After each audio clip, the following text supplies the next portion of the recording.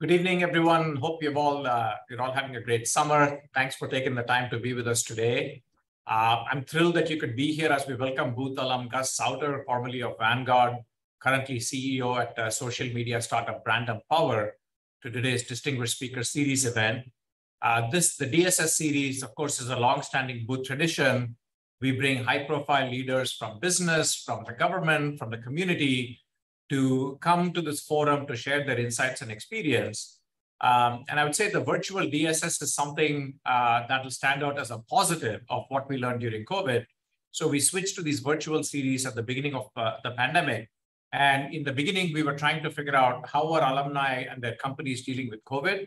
Uh, but the series was such a big hit, and we've been able to reach so many people through it.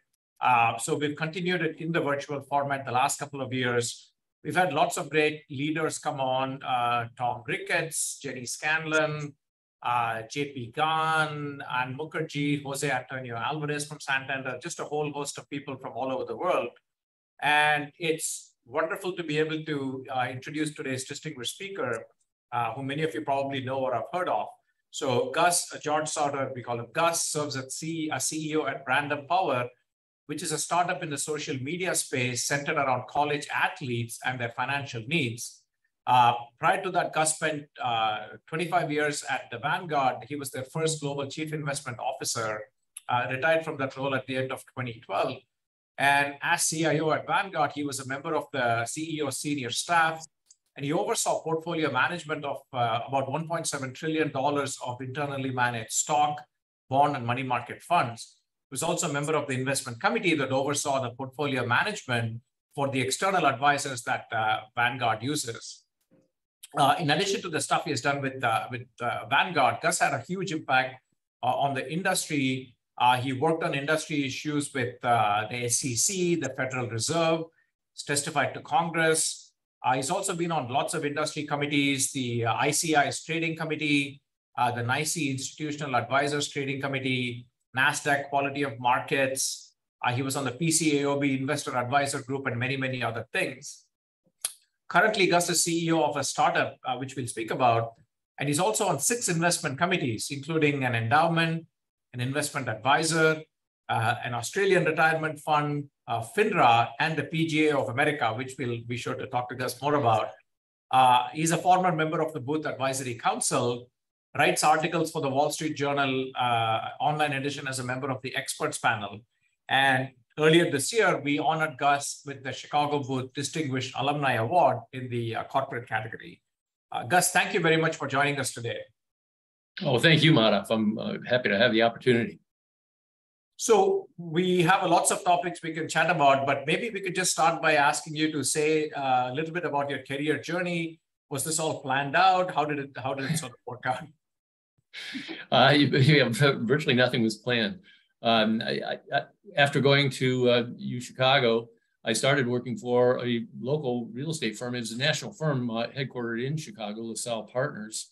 Uh, worked there for a couple of years and uh, then moved on from there. And, and I had a good friend from uh, my days at Chicago, uh, good friend Chris Dialynas, who was working at PIMCO at the time, and he kept telling me that I needed to get into the investment business, and it was a uh, really the love of my life, anyways. And I hadn't um, um, hadn't really pursued that direction, but he talked me into it. He was thinking I might come out to uh, Newport Beach uh, and uh, join him at PIMCO, um, but but who wants to move to Newport Beach? I decided I'd move to Ohio and uh, try to get into the investment business. And uh, so I ended up working for a regional bank in Ohio um, and uh, worked there for a couple of years. And, and I had a good friend at, uh, in college at, at, Dartmouth who was actually at the time almost, he was soon to become the president of, of Vanguard. And uh, so he talked me into going out to Vanguard, which turned out to be a great opportunity. I, I started off uh, running the very small uh, equity group, which consisted of basically one index fund. I was hired to, to both develop the index fund and also the active quant funds as well. And, and then, as you mentioned in the intro, uh, I served on the investment committee overseeing the external managers. We had about 35 different external managers. And um, I, I, had an opportunity to, to be on uh, our CEO's senior staff my last 15 years at, at Vanguard. And um, and then, as you mentioned, I became CIO my last 12 years. We, we never had a CIO before. I was running the equity department and the head of the fixed income retired. And so I got fixed income as well. And, uh, and then I retired about a decade ago. And as you mentioned, I've been doing a lot of uh, work on investment committees. And, and recently I was pulled back into the workforce by a friend that I met through the, uh, the Dean's Council um, at, the, at the graduate school. And, uh, and so now we're uh, co-founders of this uh, new firm that we're trying to get off the ground. We're still still haven't launched yet, but mm-hmm. That's that's the nutshell version.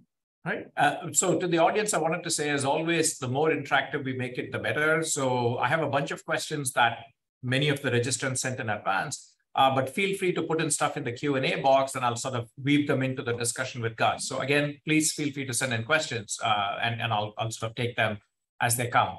Um, so one of the things I wanted to chat with you, uh, something our, our uh, alumni and students always want to know, uh, Gus, is like, how did your time at uh, Chicago influence your career and sort of the arc that you had afterward?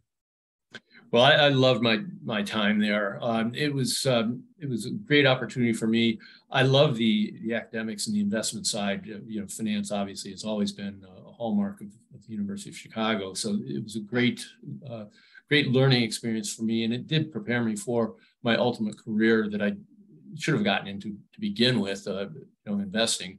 Um, I, uh, one of the jobs I mentioned that I had at the regional bank in Ohio, uh, I, I, sent letters to every money manager in the state of Ohio, and, and which there's not a big big list, but I got a, a call from the uh, the head of of trust department at a regional bank. And he said, well, we don't really have any jobs, but I see that you went to the University of Chicago and, and have your MBA from there. He said, so, you know, I'd love to just have a cup of coffee with you. And so I said, sure, I'll be up tomorrow and, and uh, um, talked to him. And the next day he said, you know, we'd like to extend an offer to you. Hmm. But it was only because I went to U Chicago that he even gave me a cup of coffee. Uh, and then, uh, but I felt that Chicago had really prepared me for that uh, opportunity. And then the same thing when I got to go to Vanguard, it was because I had been developing a quantitative uh, money management model at the bank. And Vanguard wanted to develop uh, active quant capabilities uh, within Vanguard and at the same time build the, the index side. Indexing is basically passive quant. And mm-hmm. so uh, uh, I'd say that U Chicago prepared me for really um, every step of, of my career uh, post the, Chicago days. Mm-hmm. And, and then, you know, uh, also it created a network um, of alums and classmates that uh, I've kept in touch with, and, uh, and that's also helped me throughout my career. Uh, so one of the things that some uh, some of those may not know is that Gus is the reason that we have CRSP at Chicago, the Center for Research and Security Prices, um, become sort of an indexer. And many of you may not know, you know, several of the Vanguard domestic equity funds are tied to indexes that we maintain at Chicago booth. And I think the dollar amounts of the, the those that we actually oversee are staggering. And we owe that all to Gus. So maybe Gus, you could just speak about what what was sort of the issue going on uh, when you were CIO at Vanguard. What problem were you trying to solve, and why did you think about Chicago booth as the place to come to for that? So there are a number of index providers, you know, there and and you know there are uh, five or six or seven. They're really uh, high quality index providers, and uh, but they uh, while creating an index, there's a lot of moving, uh, uh, blocking and tackling that you have to do, but there's not that much different from one index to the to the next. Yet everybody wanted premium pricing. We had to uh, pay royalties in order to use an index. And those royalties were staggering. I mean, uh, in the, the nine digit range. So, um, you know, we looked at it and said, we can create indexes ourselves. And, you know, and again, it, it, it's not easy, but if you do the blocking and tackling right, you can get it done. And, and we thought, well, you know, should we be spending hundreds of millions of dollars to use various index providers indexes or should we figure out a different strategy? And so we had our, in our back pocket was if we need to we'll create our own. But at the same time i really didn't want to go that route because uh, i think there's an advantage to have a third party provider. It just seems a little odd if you're tracking your own indexes. So, um, uh, you know, I, I, thought of various entities and, and we approached a, a few. And, um, you know, since CRSP uh, had been at Chicago for forever and had, you know, the, the security data going back to, I guess, uh, 1926 or something. It seemed like time started in 1926. um, you know, it seemed like, well, CRSP would be a natural for us to approach. And, and I happened to be on the Dean's Council at the time with Ted Snyder.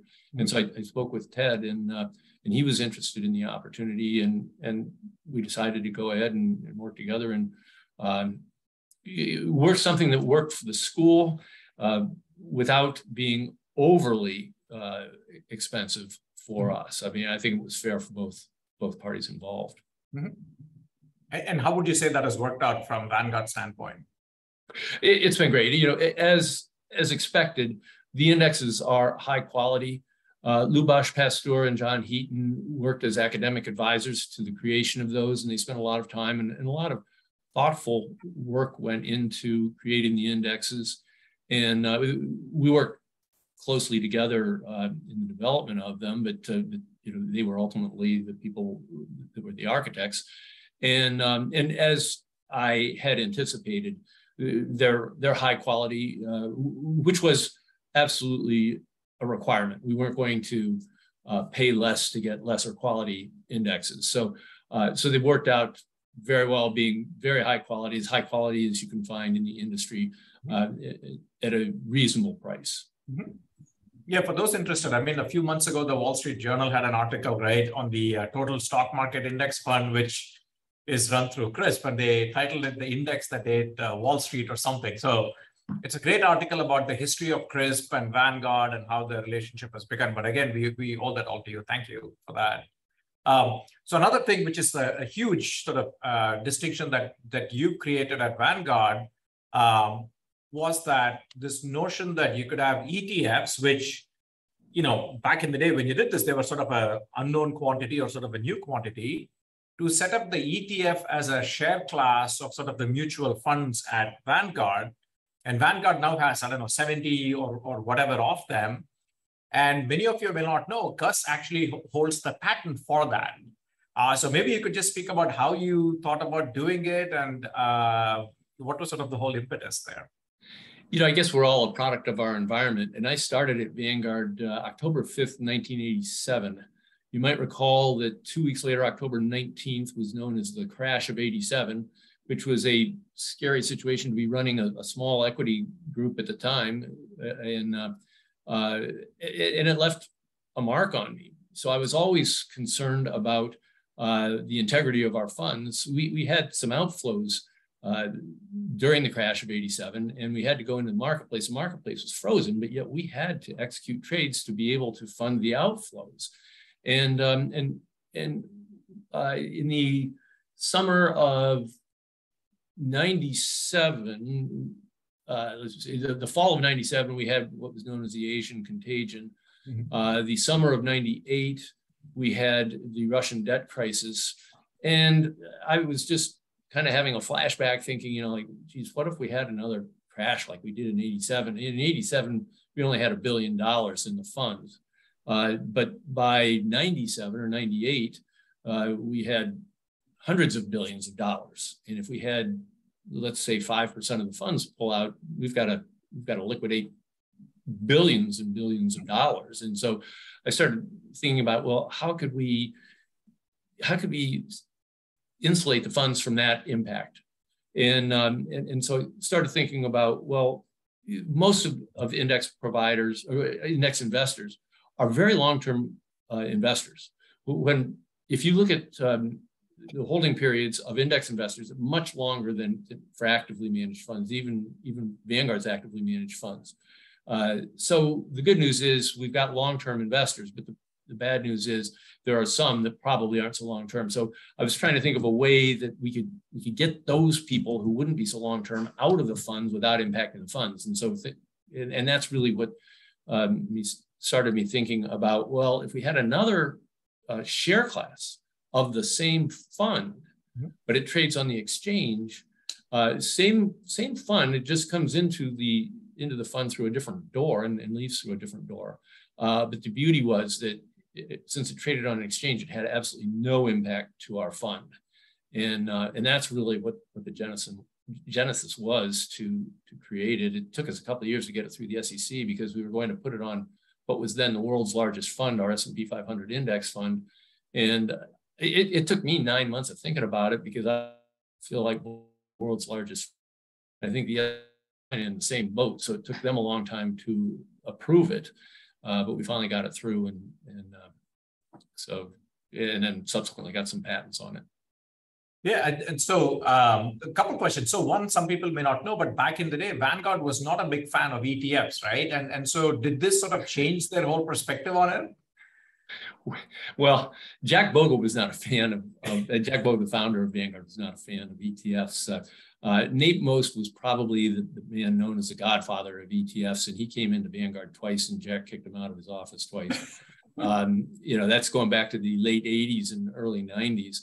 And then subsequently, he went to SSGA, State Street Global Advisors, and, and they started the first ETF, the SPDR contract.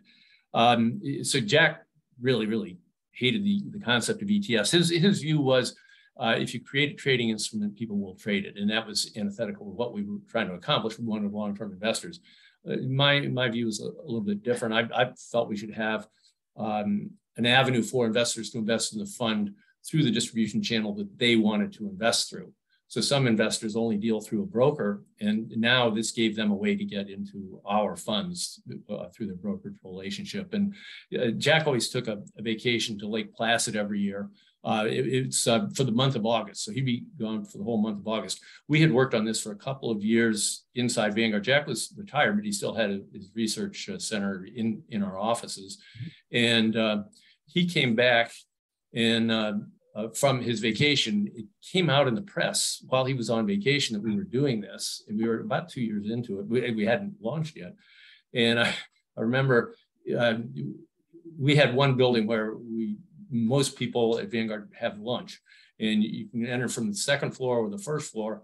I didn't realize he was uh, over the balcony of the second floor. I, I went into the foyer down below, and all of a sudden I heard Jack bellowing, Gus, what the hell is going on around here? And uh, so I said, you know, welcome back, Jack. Uh, but yeah, the, Jack wasn't a, a, big fan, and um, it, it, took it took a little persuasion internally to to get people on board. But the, but our board was wildly in favor. Mm-hmm. Yeah, and I think the you know the results speak for itself, right? I mean, it, it's crazy how well Vanguard has done. And it's honestly, if they hadn't done it, as you've said, the, things could have been very, very different, particularly with the rise of, uh, you know, uh, iShares, uh, if you will. Um, so one other question on this, you know, the patent expires next year, right? Sort of actually less than a year in May of 2023. Uh, what do you think will happen at that point? Will that have a big impact? So, you know, I think it's an opportunity for existing funds, funds that want to be able to distribute. I, look at ETFs as just a distribution channel. People say, oh, it's a new product. It's, it's not really a new product. It's a mutual fund that trades on an exchange. Um, but so to me, it's a different distribution channel. And if you have let's say an active fund that um, is 15 years old or 30 years old or whatever, uh, but you've really only had the mutual fund channel to go through. Uh, this opens it up uh, to being able to, to, trade on the exchange, and you and then basically any investor in America can have access to your fund. Mm-hmm. Um, so I think it might be attractive to um, basically larger uh, larger existing active funds and over the years, we did have uh, various fund groups uh, ask us about licensing them, and we, we got into discussions with um, with several different uh, possibilities, but uh, nothing ever came of it. So it'll be interesting to see if now that you know the the patent expires, if if there will be people pursuing that route. Mm-hmm. I mean, the other thing happening in that space is uh, some funds, including Dimensional, I mean, converting their mutual funds to ETFs? Sort of what's sort of the impetus behind that? Uh, you know, I think it's just I think it's a distribution channel. Mm-hmm. So right now, um, there are a lot of people who really wouldn't go to a traditional mutual fund if you have to go you know through the traditional route they just don't want to do that they you know if you're using um, maybe you have investments with three four or five different mutual funds you, you may not want to have you know five different mutual fund companies that you're, you're dealing with you might want to deal with your your broker that has access to all five of them and, and you get one consolidated statement uh, um, so it's, it's really uh, an issue about distribution and and maybe ease of administration for the mm-hmm. investor mm-hmm. Thank you. So we had uh, one question from the audience uh, about indexes. You had, we had talked about, you know, CRSP providing the index for Vanguard. The question is, I think the spirit is, is there much distinction across indexes? So the what distinguishes one index from another in your view? Well, uh, you know, so there, in my view, indexing is really investing in a total market. And I've actually gone back to some writings uh, at U Chicago because it was largely developed at the University of Chicago back in the 60s. And in looking at it, uh, the discussion was really about trying to get the market rate of return. It wasn't you know, let's get the growth market, you know, the NASDAQ market or anything like that. It was get the market rate of return. So as a purist, I think that's what indexing is. It's, it's getting the, the broad market rate of return. And quite honestly, that's probably the easiest index to track because, you know, the broad market is what the broad market is. Uh, you have to you have to be able to keep on top of all the corporate actions. So it's not like you can just create the thing and then go to sleep. There's there's a lot of blocking and tackling every single day but uh, but the, the total market indexes will be quite similar and in fact they provide very similar returns mm-hmm. the, the ones that are are more differentiated or when they uh, try to cut up different segments of the marketplace and the way i look at that is uh, my terminology i would say that's a, a, a passive investing um, in an, a passive way to actively invest um, in other words, you're taking an active bet on a segment of the market. You're mm-hmm. not you're not taking a bet just on the market. You're taking a bet on, mm-hmm. let's say, the, the large cap growth segment of the market or whatever it might be. That's an active bet. Uh, you're betting against value stocks, you're betting against small cap stocks. Uh, it, but I view that as being passively implemented as opposed to indexing. Slight difference in, in terminology. And in fact, uh, DFA Dimensional, they, they call themselves passive managers. They don't call themselves indexers. Um, so, but that's where I think you really can get different differentiation because uh, how, how one person defines growth can be very different from the way another person defines growth. And, and interestingly, those aren't definitions that come out of academia. You can't really just say, you know, here's growth. I mean, we, we kind of think of, well, if, if earnings are growing fast, that's a growth stock or, uh, but, uh, but there's no hard and fast definition.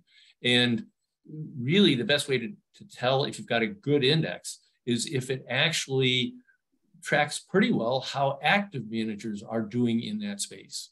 So Morningstar pulls together uh, managers into the nine Morningstar style boxes, and, uh, and you can see how your indexes track relative to the managers in those style boxes. The indexes typically outperform those managers on average, but because the indexes don't have costs, the managers do. But um, but that's really the, the gauge of a good a good index is, is it really doing uh, what active managers have defined as these various investment styles? Mm-hmm. Uh, so we have a couple of questions that have come in about uh, indexing in general. Uh, one, let me ask the question relates to what you just said. Uh, will index funds continue to beat 80% of managed funds? Or should you look for the 20% who do beat index funds? Uh, uh, yes and yes. Uh, so, you know, uh, some people think the, the argument for indexing, and I think maybe the early arguments for indexing were efficient markets. And if, if markets are efficient, if everything's perfectly priced, it doesn't make sense to, to, to try to outperform the market because you could only outperform by luck. Um, you know, I, I, I believe markets are reasonably efficient, but but not perfectly so by, by any stretch. And if, if that's the case, indexing still makes sense because, because outperformance is a zero sum game. Investors in aggregate own the marketplace. So for one investor to outperform, another one has to underperform. But on average, they're going to get the market rate of return before any costs. Unfortunately, investors have costs, and they're much larger than what, what you might think.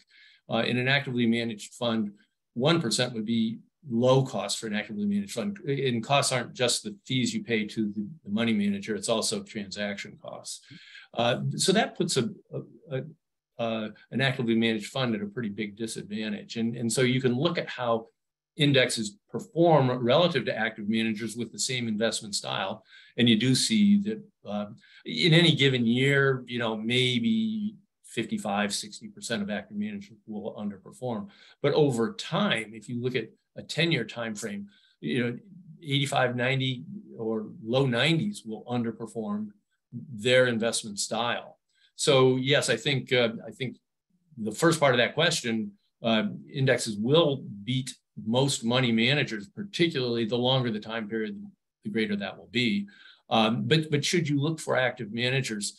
Uh, you know, hope springs eternal. And um, as I mentioned earlier, I was hired to develop the active quant business at, at Vanguard, and, and, I mm-hmm. probably suffer from the same overconfidence that every active manager does. Uh, you know, every active manager will tell you that they're going to beat the market, despite the fact that they may never have done so.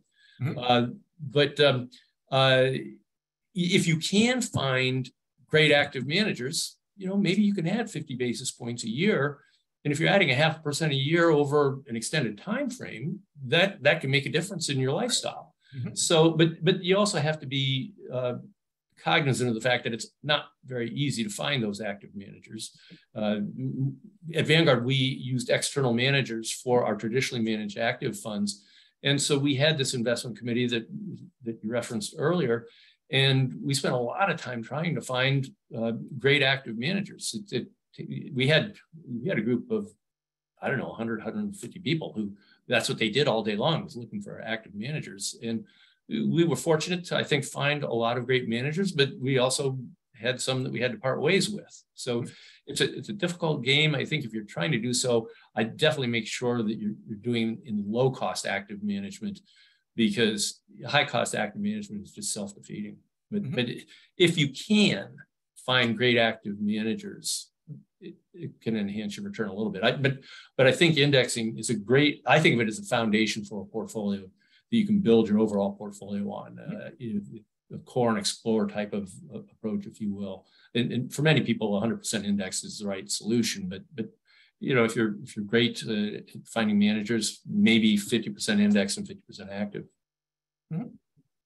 So we have a question uh, that came in, plus uh, somebody had earlier sent it in as well sort of index funds causing corporate governance issues, which was, you know, because of the blocks being voted in ways that some people think are a conflict of interest or, eh, you know what I mean? Like the uh, aggregators, the BlackRocks, Vanguards, and others have too much power, if you will, which was never the point, right? That was never the intention. So the question was sort of, what can we do about this? What reforms do you think are going to happen in that space?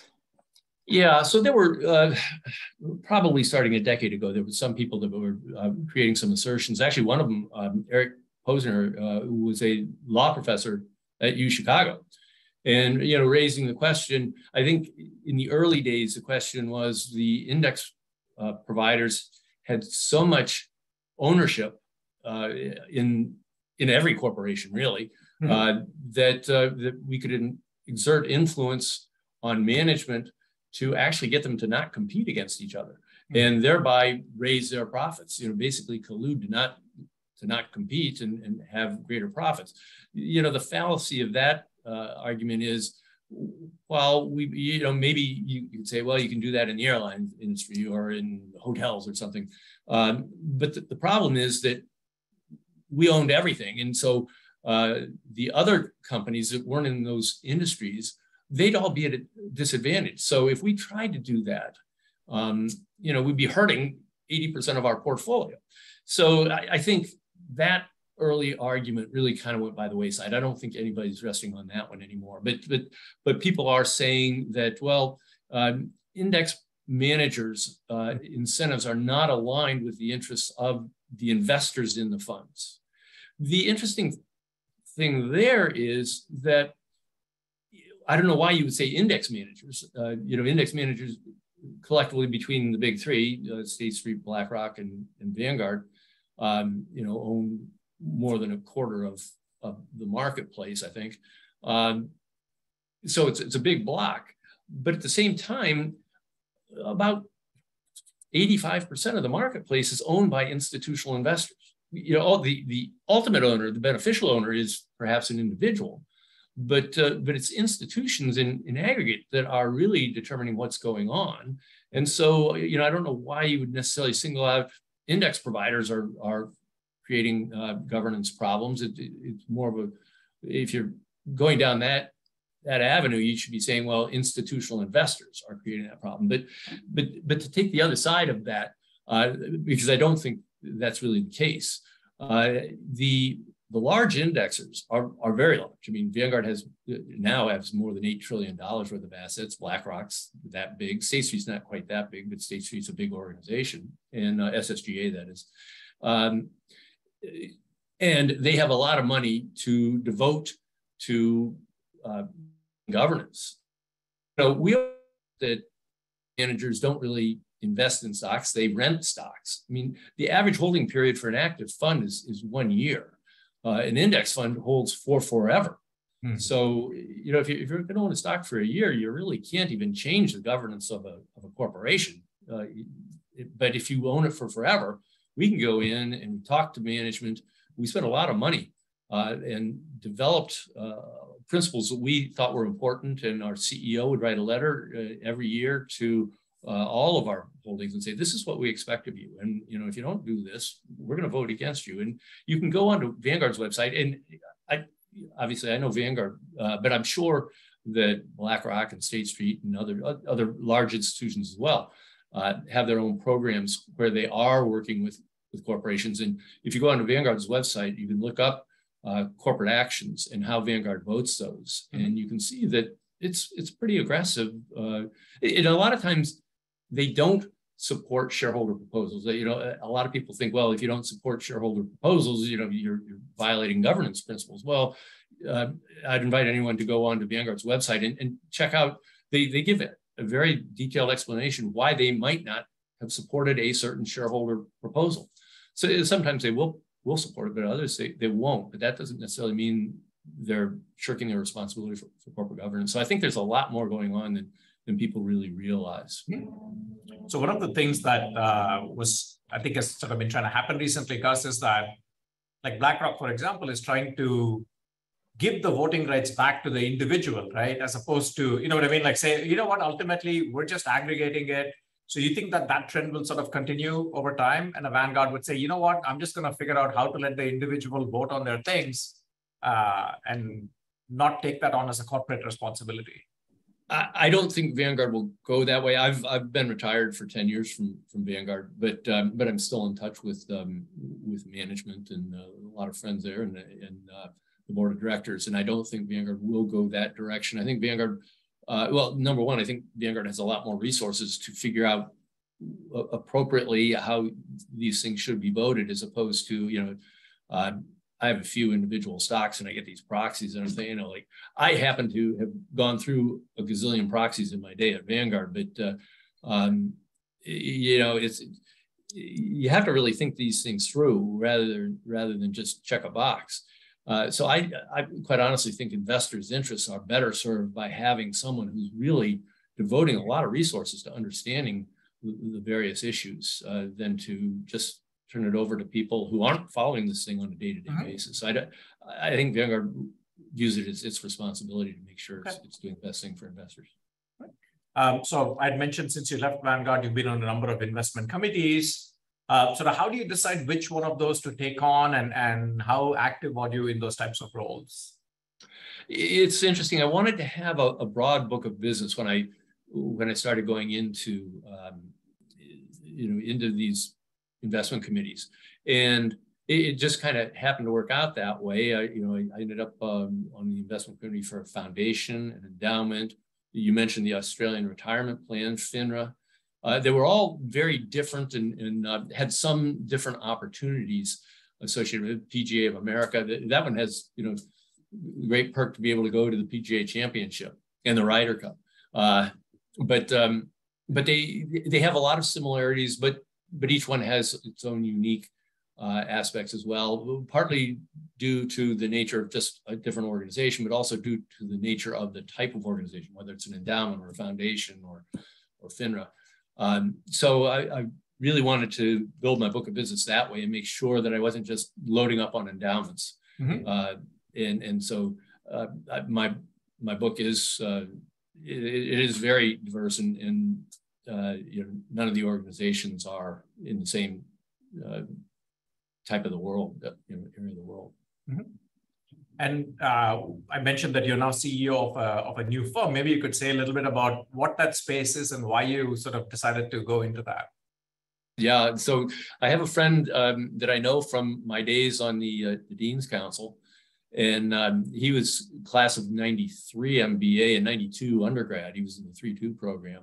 And um, he decided it was time to drag me out of retirement and uh, out of full-time retirement. And I just, I, I've considered myself semi-retired.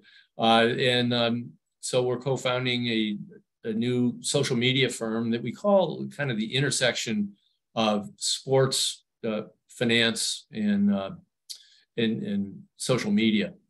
And we're, we still haven't launched yet. We're in the building phase. And, um, uh, but it's been interesting. I've never been a CEO before. I've been a CIO, uh, very different role and uh, uh, so it's a it's a different challenge, and that's probably why I agreed to do it. But uh, uh it's it's been interesting so far. There's, we've got a lot of wood to chop, though. Uh, so maybe you could just speak a little bit about what are sort of regulations around financial planning services for college athletes, um, and what does just the, the landscape look like? Yeah, so uh, so I guess that's probably about the name, image, likeness uh, regulations that, that happened uh, a little over a year ago now. Uh, by way of background, um, for those who may not have been following it, uh, there were 25 different states that were going to change their rules that would allow college athletes to endorse products and be paid for endorsements. The NCAA had always prohibited that, but but state laws were going to change, uh, enabling certain athletes in, in those states to to make money uh, the NCAA realized that that would put the athletes in, in, the other states at a disadvantage. So, so last June, uh, the NCAA changed their rules, allowing athletes to be able to endorse products using their name, image, and likeness, uh, nil, um, nil characteristics. And um, uh, so, so the NCAA has rules that govern what they can do. Various states I think it's 25 states now and maybe increasing, uh, have rules that you have to abide by if you happen to be in a college in that state. Uh, the various conferences have their rules and the various schools have their own policies. So you've got potentially four different layers of rules, regulations, and policies that you have to satisfy uh, as, as a college athlete in order to be able to uh, to accept this endorsement income. The overriding factor is that you have to provide a service that is of equal value to the amount of compensation you're getting. And that, you know, the rationale for the NCAA never wanting to do this before is they didn't want uh, schools to buy championships. They didn't want, you know, the boosters of various schools to basically pay the athletes under the counter hmm. um, money to come to the school and, and play for the team and uh, you know that was the big fear. Uh, so now you know they're still guarding against that by by creating these regulations that there has to be appropriate value provided by the student athlete. Mm-hmm. And, but but at the same time, I've spoken with with some people who are overseeing this at various schools, and they're really concerned about it because the, one school told me that 50% of their athletes are doing deals that the school doesn't even know about. Wow. Yet the school could be sanctioned if the deal violates any of the rules or regulations. And um, uh, so eh, right now there's a big shakeout going on and you know it's it's starting to find you know some common ground but but it's still kind of the wild west out there hmm. um, one question that came in was given the career you had at vanguard what do you see as things that you learned there or skills that are now helping you in this new role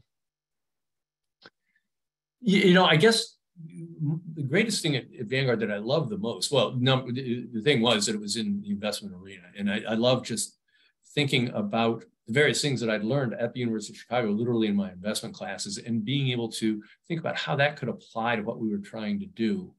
And, um, and so that was great. But at the same time, I, I loved building. And uh, I, my first job graduating from uh, from U Chicago was as a commercial real estate developer. for a couple of years. You know, I mentioned LaSalle Partners earlier on, and um, you know, I just loved that was literally physically building buildings.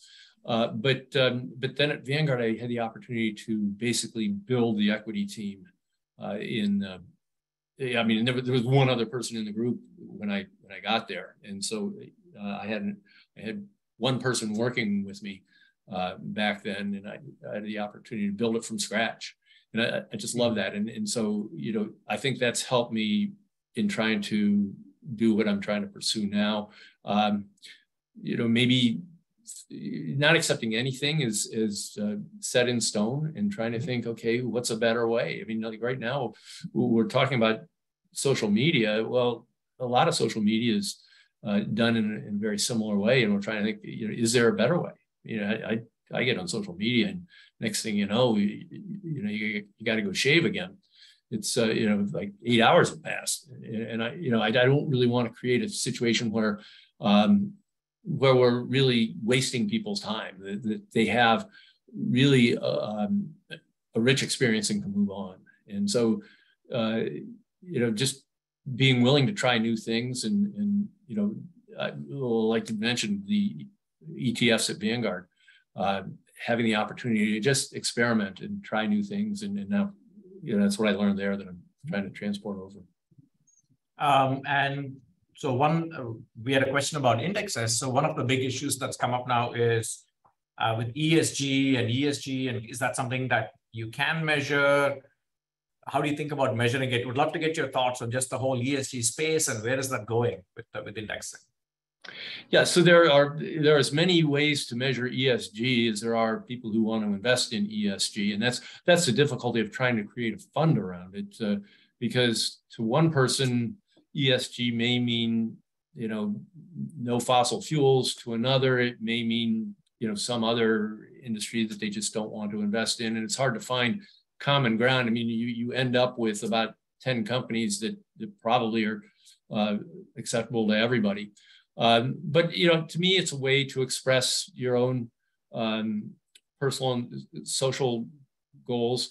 Um, is it a way to outperform it? What I am concerned about is people think, oh, well, you, you can do well by doing good. You can do well by doing good, but to think you can do better by doing good, I think is is maybe a little bit um, uh, over exuberance. Uh, uh, you know, I, I, don't see any reason why uh, an ESG portfolio should outperform a non-ESG portfolio. And I've had this debate with consultants uh, I had one in, with the, firm in Australia that, that, I do work for, and um, you know they're saying, well, you know, if you're if you um, follow ESG principles, then you'll grow faster, and then you'll uh, you'll, you'll, have a better return. Uh, John Cochrane, who mm-hmm. you know, uh, um, uh, son-in-law of Gene Fama, and and you know, presumably going to be a Nobel Prize winner at some point in time, and was on the faculty at Chicago Booth uh, um, now working at the Hoover Institute. Uh, I, will always remember John Cochrane saying, like, why is that not already in the price? I mean, if it's true that an ESG firm will grow faster, why aren't you, why is that not in the price? You, typically, growth stocks, you pay up for them. And so, you know, that doesn't mean it's going to have any better return uh, just because it's a uh, it's, it, it may or may not have better growth prospects. So to me, it's fine to express your um, you know, your social values, uh, however you should define them. And, you know, unfortunately, as I say, it's like there are so many different definitions of it. But, uh, but I would say, you know, try to get some diversification across the marketplace. Don't uh, uh be too narrow in your, your focus and, uh, and then probably don't expect excess returns. Mm-hmm. And would you be in favor of uh, sort of doing these mandatory ESG disclosures that companies you know that SEC is thinking about? Um, I, I think that's fine. I think it's a little bit difficult to really define it precisely and and, and then follow it precisely. But uh, um, you know, I, I I think it's fine for companies to express, you know, here's where we are on certain things. I think you have to understand that different companies have different abilities to follow certain things. I mean, you know, to tell Exxon you got to get out of the, uh, uh, you know, hydrocarbon business is going to be a, a difficult, mm-hmm. a difficult task. Um, but uh, uh, you know, so people should just recognize some things are are the nature of the business. Mm-hmm. So we have a couple of questions that came in about the uh, current market environment. Uh, one is people can feel spooked in an environment where asset prices have come down, certainly from you know like December, and interest rates are up. And what's your advice to younger members of the audience who may not have had experience or historical knowledge of these kinds of things uh, ever happening? I'm trying to think of how many different cycles I've lived through. You know, 73, 74 was, was bad, 80, 82, uh, uh, the crash of 87, uh, the tech bubble, the GFC, you know, uh, kind of goes on and on. Uh, um, if you, you know, if you're really too afraid to invest, you're, you're never going to get any returns. Um, I, I think you, you recognize that there but in, it's a function of your time horizon too. If you're if you're 30 years old, what do you really care about happens in the marketplace right now? You know, the market pullback. Uh, what you really care about is where the market is 65 years from now, or when you're 65 years old. And uh, uh, and if you look at an historical graph of the growth of a dollar, look at one dollar invest in the S&P going back to well 1926, mm-hmm. uh, and you, you look at pullbacks there, and you don't even see them. You know, like the 73, 74 doesn't even show up, and um, uh, you know, so I think you have to think long term. And if you're if you're not thinking long term, then you probably shouldn't be thinking about the stock market. If you're if you're saving to buy a car next year, the money shouldn't be in the stock market anyways. Mm-hmm. Uh, so I, I, think you just have to tie your asset allocation to uh, to what your time horizon is, and then just recognize that if you want to get better than risk-free returns, you got to take risk. I mean, the capital market line um, has a reason for being, and uh, and just recognize that risk means ups and downs, and and probably avoid the temptation to time the market uh, you know, I, I, one investment committee I'm on, somebody was saying, you know, this was a month ago, was it, it, talking about, you know, market timing. And I said, you know, like, you know, right now, I think if we were market timing, I'd be getting in, not out. Hmm. And, uh, uh, you know, typically people invest by looking in the rear view mirror, not looking forward. And so uh, we, we're not, we're not wired to be great market timers as, as human beings. And Dick Thaler, Richard Thaler, has written about that extensively, and, and you know all of the behavioral finance people at U Chicago have done that. So um, I, I, would just recognize there are going to be ups and downs, but if you're investing for the long term, you're, you're probably best off to just stick with it. Yeah, and I guess that one thing that people probably don't understand is that the price of being invested has come down so much, right? I mean, did you ever expect that the cost of, you know, like investing in the S&P 500 would be what it is today? It's kind of incredible, right? Yeah, it's like like three basis points, two or three basis points. You know, it, it, you know, if you don't think in basis points, that's two one hundredths of a percent. Um, you know, so it's it's about as close to free as you can get. Yeah. And uh, so you can actually capture the market rate of return. Yeah. Um, so uh, question was about when you do active investing, I mean, uh, if you think about that, what things other than just the financial metrics would you look at? Um, well, so I guess financial metrics would be, you know, profit, uh, cash flow, things like that, uh, EBITDA.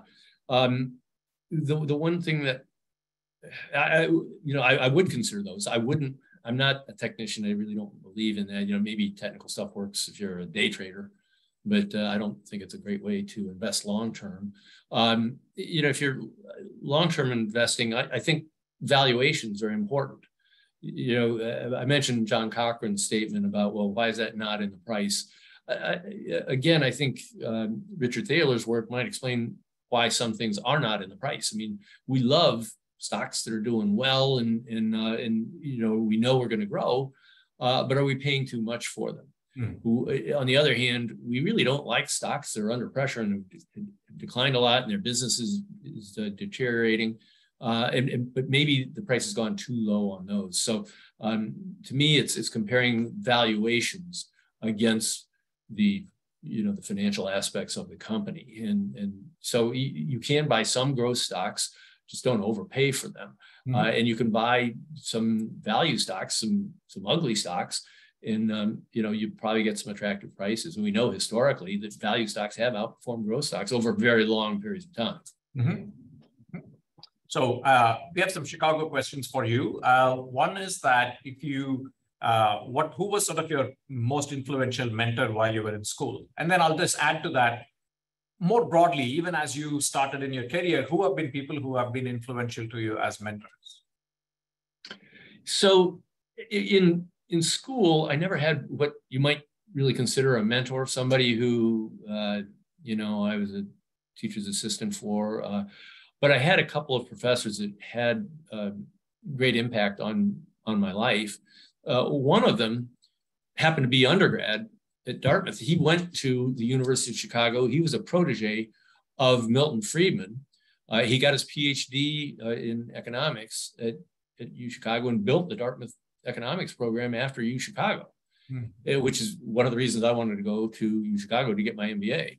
Um, the other professor that, that jumps out at me is having a, a big impact on me was uh, uh, Bob Hamada, mm-hmm. who was one of your predecessors, uh, mm-hmm. Former dean of the school, but um, was uh, the premier uh, professor in uh, corporate finance back in the late 70s at, at U Chicago, and was just a, a, wonderful teacher. And I had a couple of courses from him, and and then subsequently had discussions with him when I got to Vanguard and, Hmm. You know, I've had more discussions with him since than I did did beforehand. But uh, those both of those professors had a profound impact on on my hmm. life. And what about at Vanguard or other roles that you had? Who were people who influenced you? Yeah, so I'd, I'd say um, the two people there would be uh, Jack Bogle and Jack Brennan. Jack Bogle was the founder and, and former CEO and chairman of, of Vanguard. Jack Brennan was actually the person who brought me to Vanguard. Uh, Jack and I were actually uh, same class uh, undergrad at Dartmouth and, and, good friends at Dartmouth. And um, uh, we we ran into each other at our 10th reunion at, at Dartmouth. And uh, uh, that's when I was working for the bank. And, and a month later, I got a call from another guy saying, well, Jack Brennan told me to give you a call. And, and hmm. um, so, so Jack is, Jack Brennan's really, he's been a mentor to me, despite the fact we're, we're the same age. I mean, we were we, we are the same age. We were born on the same day. Wow. Um, but uh, yeah, so we were kind of tied at the hip. But um, uh, Jack Bogle was, uh, you know, he was a thoughtful guy, uh, kind of a big ego, but uh, uh, you know, he he changed the industry. He changed the money management industry, not just indexing, but he changed the money management industry mm-hmm. around the world. Mm-hmm. The, the, the, you mentioned earlier how how much less expensive it is to invest today than it was 20 years ago, 30 years ago. It's a lot of it can be attributed to Jack Bogle and the creation of Vanguard. Mm-hmm. Uh, everybody's had to compete against Vanguard, and so they've had to compete on price. Right. Uh, and, and, but Jack had a lot of uh, interesting things that he thought about as well that I learned from. The, the very first week at Vanguard, he, he drilled into me there's a difference between good money and bad money. You know, back in the day in the 80s, you thought, well, money's money. Let's get as much of it, you know, invested in our funds as possible. He's like, yeah, do we really want that money? I don't think it's going to be here next year. Uh, mm-hmm. So I learned a lot of lessons from from both mm-hmm. both Jacks. Uh, the other question about Chicago is you've sort of had a connection back to the school. You were on the, uh, the, the Booth Council. You've done guest lecturing. You've been executive in residence. What has that been like for you, sort of coming back onto campus uh, as an alum? And I, I will add, uh, as a parent of a Booth uh, graduate? yeah, um, you, you, know, I, I just absolutely loved all of my experience Booth. Um, at the time, it was GSB, but uh, you know, I, I love the beauty of the school, the physical beauty of the school. Uh, the academic experience was just fantastic. Uh, I had great friends from from my college days, and then I had the opportunity to, to reconnect um, later, um, as you mentioned, both on the Dean's Council and then uh, as an executive in residence, which gave me the opportunity to actually I was seated. Uh, my my office was John Heaton's office, and it was right in the center of the of the uh, finance faculty. Yeah. So it was great. Richard Thaler's office was right next to me.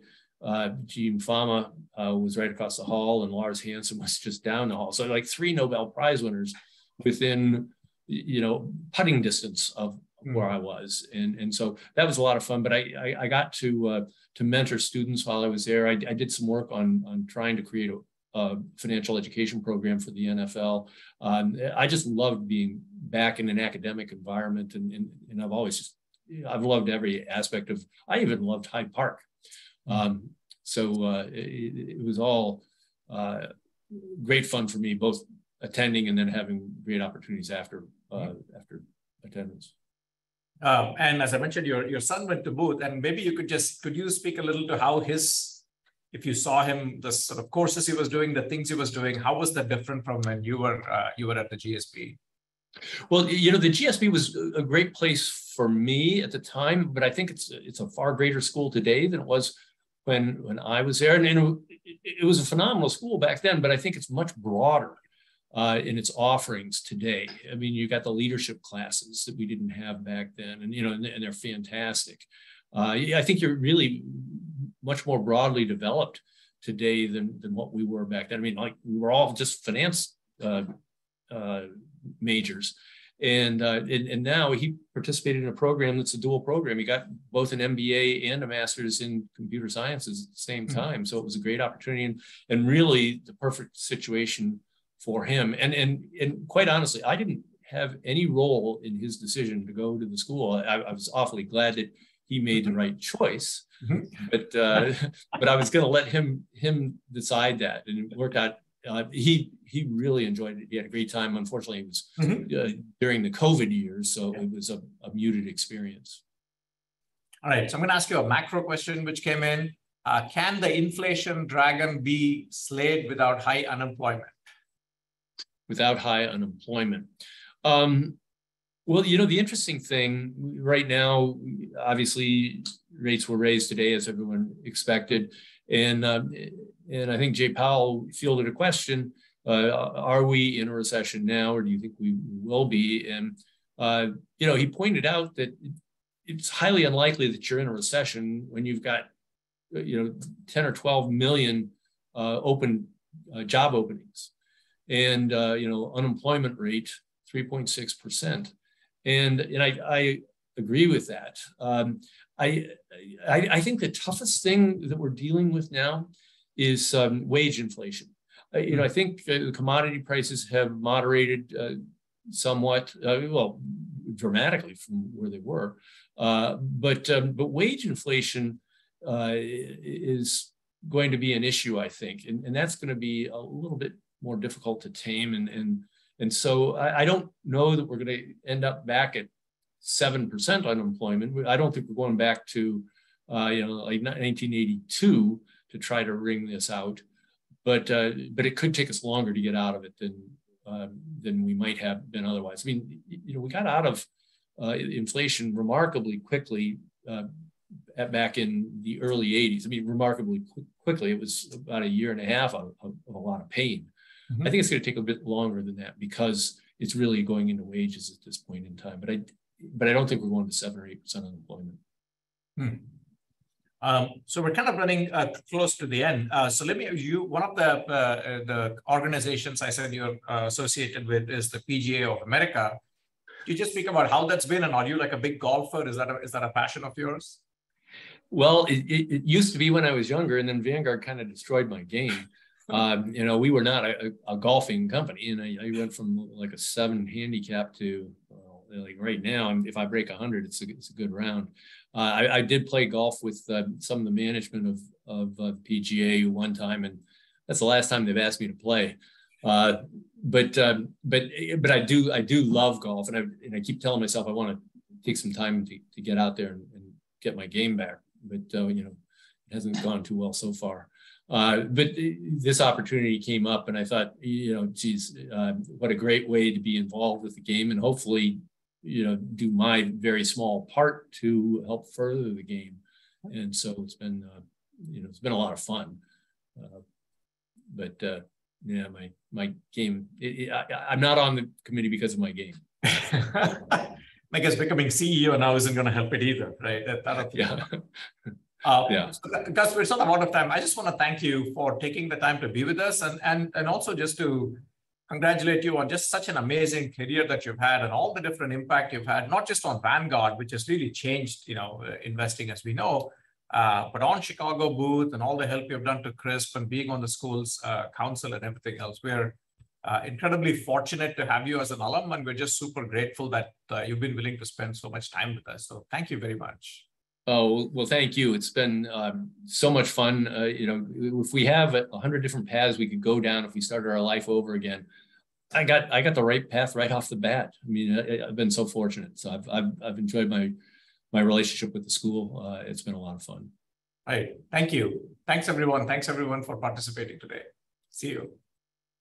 Bye guys. Bye now.